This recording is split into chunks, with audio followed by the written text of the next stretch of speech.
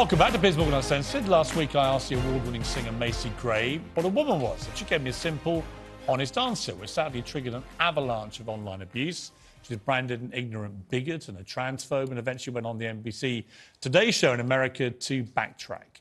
Well, now the Church of England is struggling with that question too, announcing it has no official definition of a woman, that additional care is needed when trying to answer it. All very weird. Well, Lord Robert Winston uh, the world leading scientist in the field of fertility and reproduction joins me now. Lord Winston, first of all, thank you for coming into the street. We've had some logistical issues and we really appreciate you making the effort to still do the interview, so thank you. Uh, can you answer for me this very simple question? What is a woman? Of course, I can't answer the question anyway. A woman is a female, and the female is defined by the genes she has essentially. She has two X chromosomes if she's human normally, and that would be, that would be the de definitive. It's probably easier to define a male. A male has specific masculine genes which make us different from women. And uh, the, the, the, female position is the default human position. That, that is to say, if there's no male genes there, you're born as a woman. But I mean, dictionaries just simply say a woman is an adult female and a man is an adult male. Why is the world finding it all yes. so complicated now?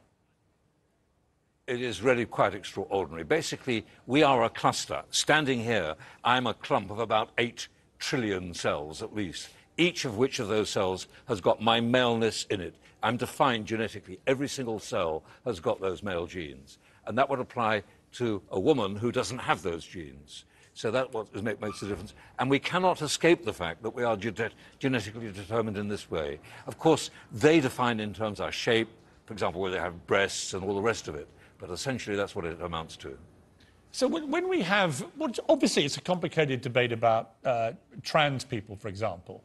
And as I've regularly said, I, I, completely support trans people's rights to fairness and equality.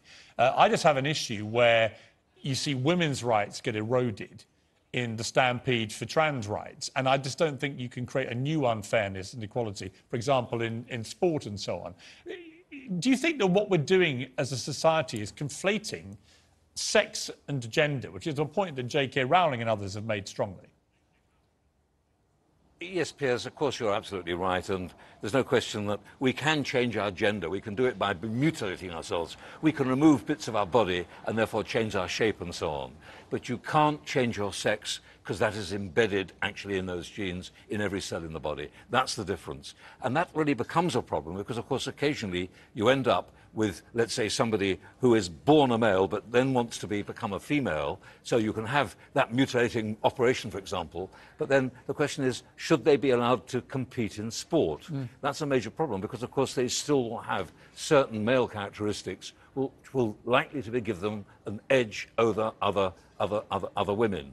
And so that is where the problem really, I think, lies. And of course, also the issue of just social behaviour in different situations, using toilets, using bathrooms, a whole right. range of issues like this, which understandably worry women.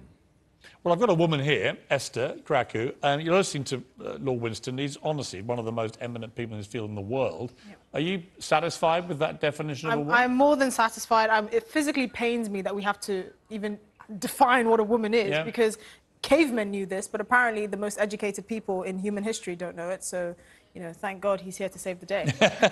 Lord Winston, I want to talk to you also about Elon Musk, who's a fascinating character. Uh, but he believes we have a, a huge population problem in the world, that actually we need more people, not fewer people. Do you agree with him? Well, do you know, I think Elon Musk is a, a, wonderful individual in what he does, but actually he's not a biologist. And let's just be very clear. I don't think it matters very much because the world's population will not depend on Elon Musk, it will not depend on politicians, it will depend on the environment. And of course, under the right circumstances, the population will certainly expand. If there is, as there likely to be, starvation in other parts of the world, it will decrease. What I think we are seeing, though, is that rich countries, the population is certainly diminishing, but in poorer countries it isn't because they don't have the ability to control their births or they don't have, they need more people to support them in old age, for example. And that I think is a fundamental issue. But the world could support a lot more people if, in fact, we had better provision for a whole range of things like food supplies and so on. Are you happy that the political population of this country uh, is about to have one less member in Boris Johnson?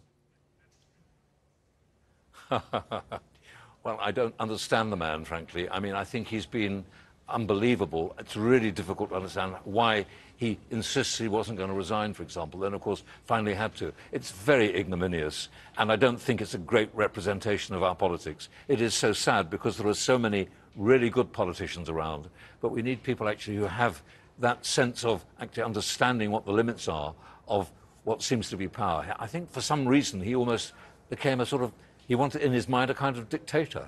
Uh, this, this is an extraordinary thing for somebody who's a, con a conservative, who actually should be conserving the political arena. Yeah, I completely agree. Uh, of any of the runners and riders left in the leadership race, uh, do any of them excite you? Can you see yourself being happy with any of them as Prime Minister?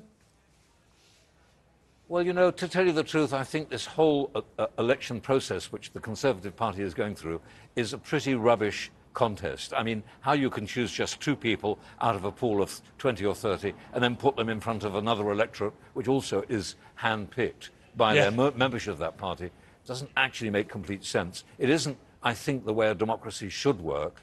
Perhaps this can't get sorted out until finally we have a proper general election, and then we might have some I think common we need sense to... back. But I think the real I, am sorry, Lord Winston, we've yes, run out of time. Say, I could talk to you again a lot longer, and I would okay. love to soon if you don't mind. But I have to leave it there. Thank you very much for your time. No. Esther, thank you. Whatever you're up to, keep it uncensored. Good night.